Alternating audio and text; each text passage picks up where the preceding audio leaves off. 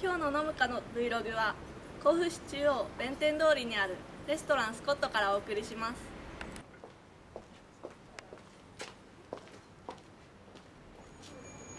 オムライス美味しいんだって。えー、オムライス食べたいね。食べたいね。その前になんか食べたくない？そうだね。この辺何か？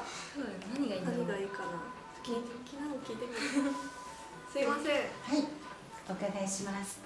この中で人気なのとかってあるんですかね？そうですね。えっと当店でガーリックバター自家製でしておりますので、パーナガイのプロバンス風、とても人気がありますのでおすすめです。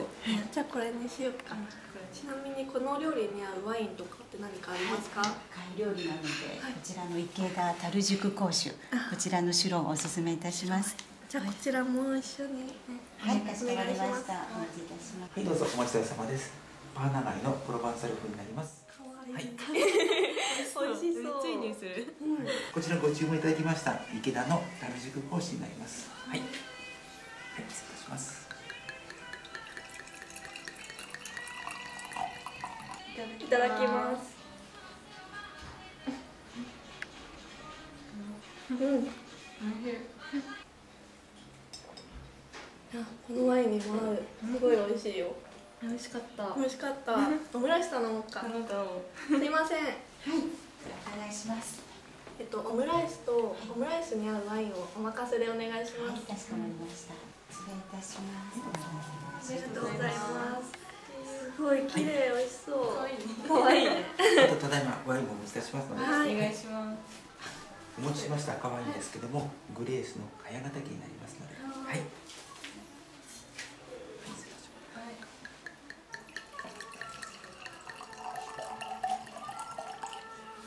いただきます。だきます。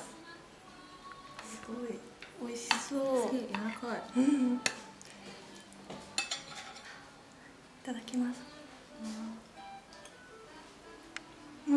美味しい。オムライスとワイン初めてなんだけど美味しい。いかがだったですか？はい。すごい美味しかったです。ありがとうございます。はい。うちのオムライスですけども、あのオムライスドットコムっていうサイトで、あの日本一のつ星ですごい。はい。ワインともすごい合いますねはい。あのワインとすごく合うのは、うちのお客様が、はい、お料理召し上がって、一番最後にオムライス食べた時に。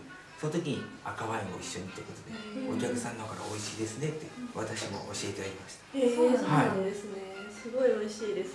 それでワインがお好きな時に好きな方にオムライスとただいまあの召し上がっていただいた赤ワインをおすすめしております。はい。本日は甲府市中央弁天通りにあるレストランスコットからお届けしました。ぜひ皆さんもオムライス食べに来てください。バイバーイ